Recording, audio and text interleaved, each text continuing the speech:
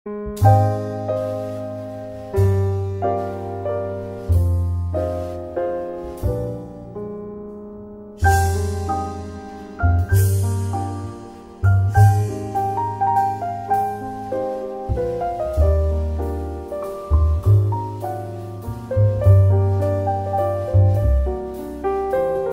สดีค่ะ วันนี้อ้อยพามาทำ ขนมบัวรอยหลายสีนะคะ จะใช้สีจากธรรมชาตินะคะ ส่วนผสมก็จะมีน้ำตาลทราย น้ำตาลปรี๊บถ้าใครมีน้ำตาลน้ำตาลโทนได้ยิ่งดีนะคะ อร่อยหอมนะคะ กะทินะคะ เกลือค่ะ แล้วก็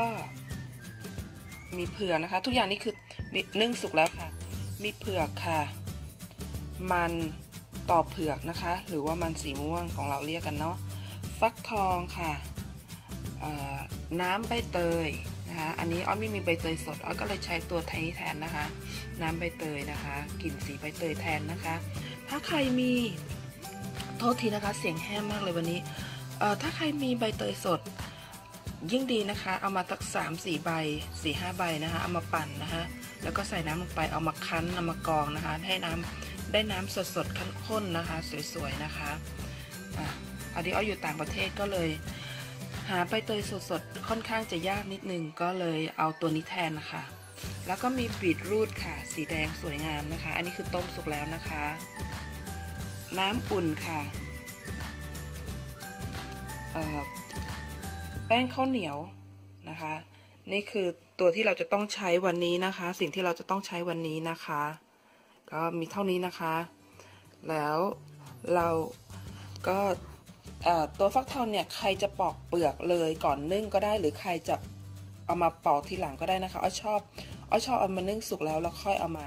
เอาเนื้อออกค่ะ เอาว่าง่ายดีค่ะไม่นั่งมานั่งเสียเวลาปอกเพราะว่าเปลือกเขาค่อนข้างแข็งมากพอสมควร แต่ส่วนมันกับเผือกเนี่ยอ้อยจะปอกเปลือกเลยนะคะ มันจะมันจะง่ายเวลาเอามาตัดเอามาอะไรเงี้ยเอามาบดเนี่ยจะง่ายมากนะคะ ค่อนข้างจะง่าย แล้วใครบอกว่าจะนึ่ง แล้วเราจะรู้ได้ไงว่าเผือกหรือมันสุกหรือยังนะคะช่วงที่ต้มก่อนก็ล้างมันล้างเผือกให้สะอาดก่อนนะคะ แล้วก็เอาน้ำไปตั้งซึ้งให้ร้อนนะคะ ให้น้ำเดือดแล้วค่อยเอามันเอาเผือกของเราเนี่ยลงไปใส่นะคะ แล้วทิ้งไว้สักพักหนึ่งนะคะ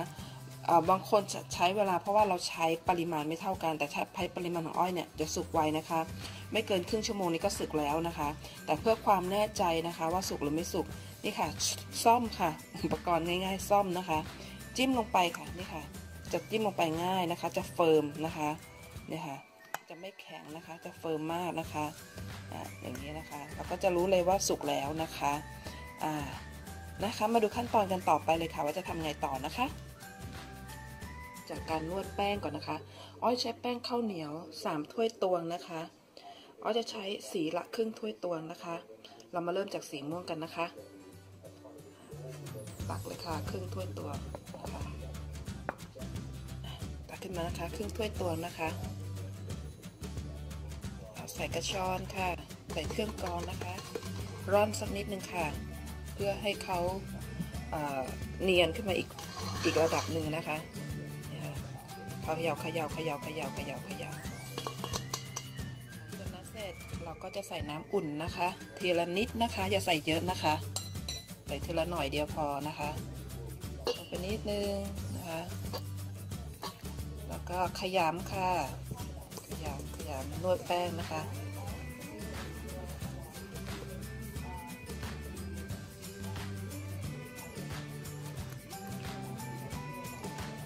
ทละหน่อยเทละหน่อยลงไปค่ะ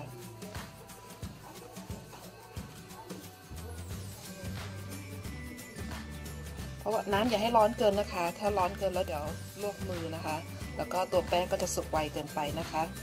ใส่แค่น้ำพออุ่นนะคะสามารถเรานวดได้นะคะนะคะ แล้วเราก็เอามันม่วงนะคะ มาใส่เลยค่ะ นะคะบีบบีบนวดเข้าไป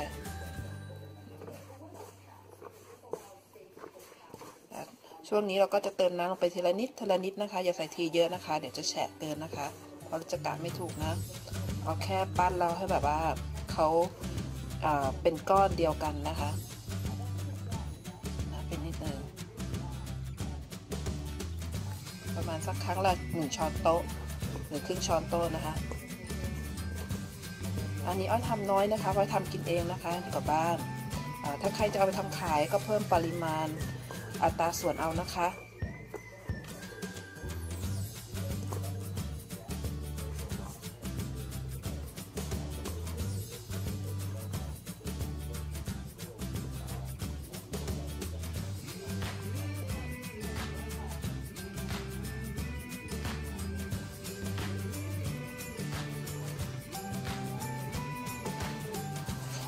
อ้อยเน้นตัวพวกมันพวกเผือกมากกว่าแป้งนะคะ แต่ถ้าคนทำขายใช้แป้งเยอะกว่ามันกับเผือกก็ได้นะคะ เดี๋ยวจะขาดทุนนะคะ แต่ว่าอย่างเงี้ยมันจะได้แบบคุณภาพมากเลยค่ะ เสร็จแล้วพักก่อนนะคะ เสร็จแล้วนะคะหนึ่งสีค่ะสีม่วงนะคะอ้อก็จะใช้พลาสติกแรปนะคะแต่ถ้าใครไม่ใช้พลาสติกแรปจะใช้ผ้าก็ได้นะคะผ้าขาวบางคลุมก็ได้นะคะผ้าขนหนูคลุมก็ได้ ขนมเนาะปิดไว้นะคะเดี๋ยวเรามานวดกันต่อค่ะเดี๋ยวต่อไปจะทำนวดแบบสีเหลืองนะคะ สีฟักทองนะคะ เราก็จะทำทำแบบนี้ตลอดไปนะคะ ช่างเอาเอาแป้งตวงครึ่งถ้วย แล้วก็นวดด้วยน้ำแบบเมื่อกี้นะคะ ขั้นตอนนะคะ เดี๋ยวเราจะทำไวขึ้นหน่อยนึงนะคะ ให้เป็นคลิปไวนะคะ คลิปจะได้สั้น ๆนะคะ จะได้เห็นกันง่าย ๆ แล้วก็เกิดสั้นกระชับเนาะ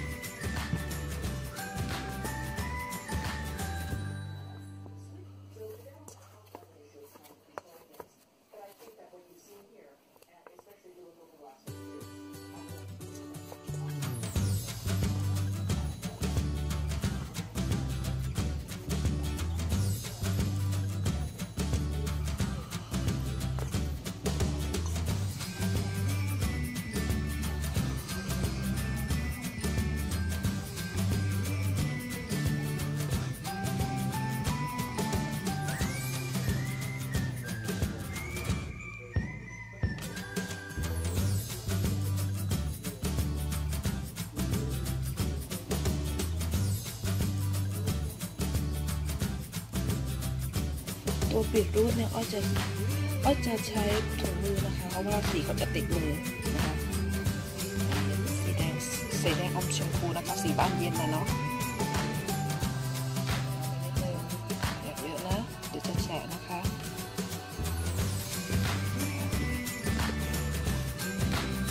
ถ้ามันแห้งไปก็เติมน้ำไปอีก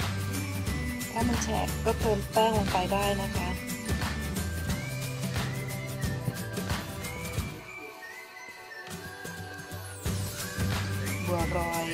กษัตริย์นะคะห้าสีนะคะจะมีสีเหลืองสีม่วงสีเขียว สีขาวนวลนะคะ สีเผือกนะคะ แล้วก็สีบานเย็นนี่แหละค่ะนี่ค่ะหมดแล้วค่ะ ไม่ติดมือแล้วนะคะนี่ค่ะได้เป็นก้อนแล้วค่ะเหมือนสีน้ำมันเลยเหมือนสีน้ำมันเลยค่ะอ่านี่นะคะหอมมากเลย สีสวยสวยเดี๋ยวไปตักพักเอาไว้ก่อนนะคะ ดี๋ยวเรามาปั้นเป็นลูกเล็กๆกันค่ะ ลูกกลมๆเล็กๆกันค่ะ ช่วงที่วางปั้นนี่เราก็ต้มน้ำรอได้เลยนะคะ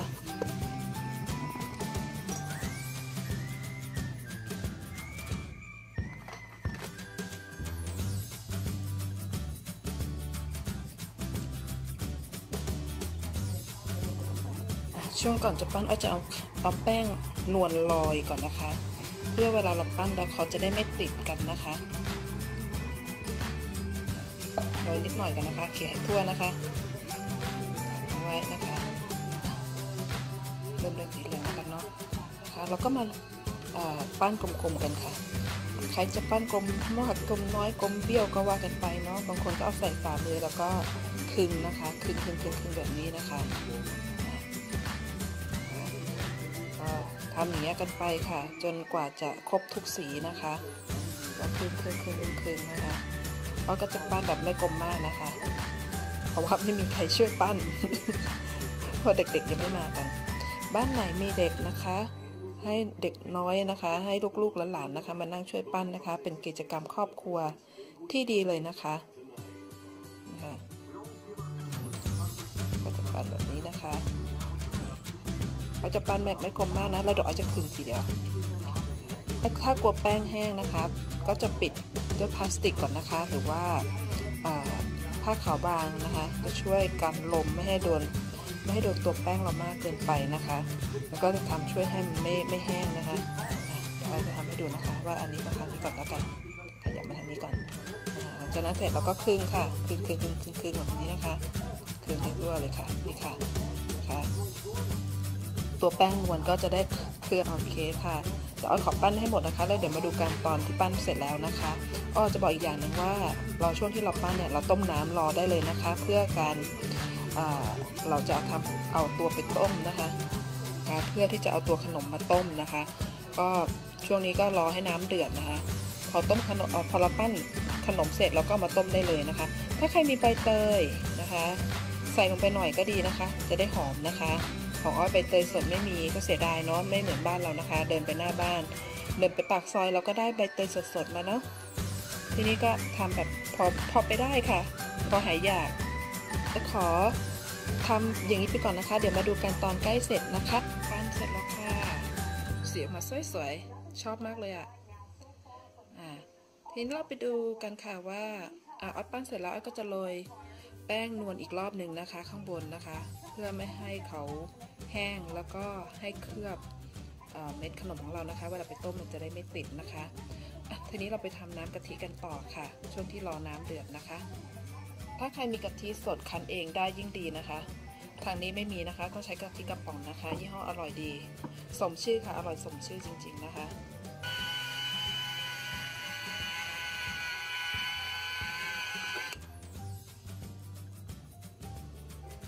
แล้วอ้อจะแบ่งหัวไว้หน่อยนึงนะคะ เพราะว่าเขาข้นมากค่ะ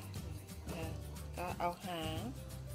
หัวนะคะผสมกันเนี่ยใส่ลงไปแล้วก็เปิดไฟค่ะ ไฟกลางนะคะ เปิดไฟกลาง แล้วเราก็ใส่น้ำตาลทรายลงไปค่ะ น้ำตาลทรายเสร็จหนึ่งส่วนสี่ถ้วยตวงนะคะค่ะเห็นชัดกันไหมเอ่ย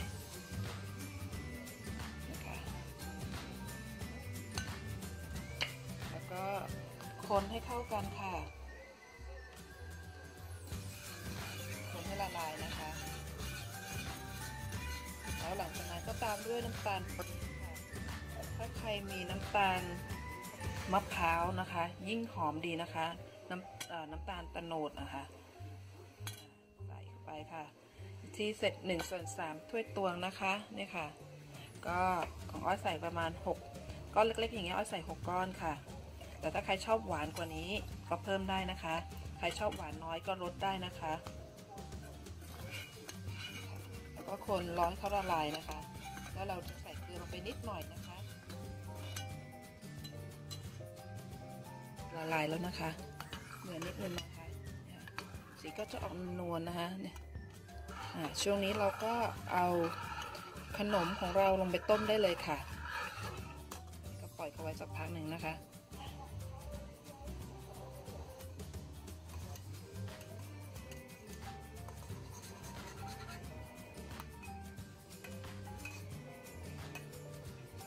ต้มไปอย่างนี้ค่ะ เดี๋ยวพอเขาสุกเขาจะลอยขึ้นมาให้เรานะคะ เดี๋ยวมาดูกันค่ะ นี่ก็คือน้ำตาลละลายหมดแล้วนะคะ พอน้ำตาลละลายหมดแล้ว เราก็จะใส่เกลือลงไปนิดหน่อยนะคะ ค่ะนิดหน่อยค่ะ ไป ไม่ต้องเยอะนะคะ ถ้าเยอะเดี๋ยวจะเค็มเกินนะคะ คนต่ออีกนิดนึงหลีไฟนะคะหลีไฟให้อ่อนๆนะคะ ช่วงเคี่ยวนี่พยายามอย่าให้เขาเดือดนะคะ เดี๋ยวมันจะ มาเราไม่ทำแกงนะคะ เราทำขนมทำขนมกะทิเขาจะไม่ให้แตกมันนะคะเคี่ยวให้เดือดแต่ว่าไม่ให้แตกมันค่ะ ไม่ให้แบบเดือดพุบๆนะคะ เราต้องคอยคนอยู่เรื่อยๆนะคะนี่ค่ะก็ดีแล้วอะปิดไฟค่ะทีนี้ไปดูตัวขนมตัวบัวลอยของเรานะคะ เดี๋ยวออกจากเตานี่บัวลอยของเราเริ่ม เริ่มสุกแล้วค่ะนะคะสีสวยไหมคะ สีสวยเนาะสีจากธรรมชาติสวยสดดีจังเลยค่ะ เดี๋ยวรออีกสักพักนะคะ เดี๋ยวให้ตัวบัวลอยเขาลอยขึ้นมานะคะแล้วเดี๋ยวเราเอาตักไปใส่น้ำเย็นกันค่ะ เคล็ดที่ไม่รับนะคะ พอบัวลอยสุกปุ๊บเราจะไปตักใส่น้ำเย็นเพื่อที่จะให้ตัวเขาสั่น ก็เขาจะไม่ติดกันค่ะเดี๋ยวมาดูกันต่อบัวลอยลอยขึ้นมาแล้วนะคะ เราก็กระชอนนะคะ ตักเลยค่ะ ตักที่ลอยค่ะ มาใส่ในน้ำเย็นนะคะนี่ค่ะ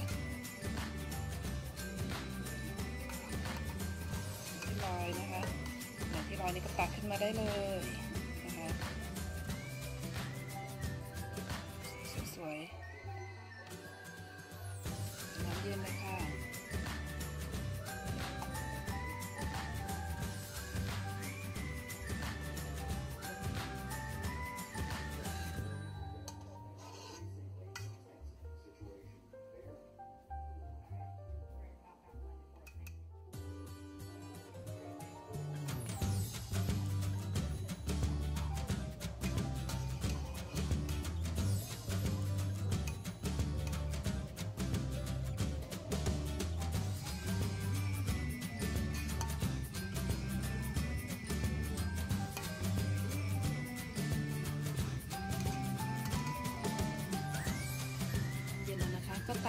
ค่ะ เตรียมเตรียมอร่อยได้แล้วค่ะ เดี๋ยวตักขึ้นมาใส่ถ้วย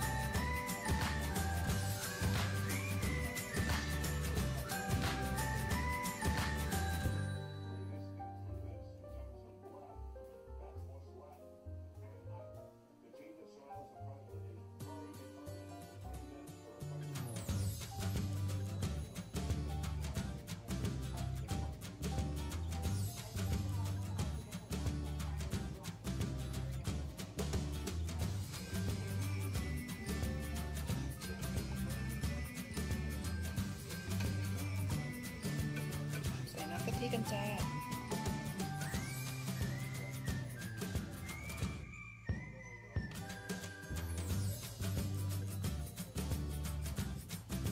นี่พร้อมอร่อยแล้วค่ะพร้อมตักกินแล้วนะคะหอมๆกันค่ะหวังว่าจะเป็นประโยชน์กับเพื่อนๆนะคะ ใครที่อยู่ต่างแดนแล้วกำลังคิดถึงขนมไทย ขนมบัวรอยก็เป็นอีกหนึ่งเมนูนะคะที่ทำไม่ยากนะคะ แต่เสียเวลาทำนิดนึงนะคะลองทำกันดูค่ะ ขอไปอร่อยกันนะคะบ๊ายบายค่ะ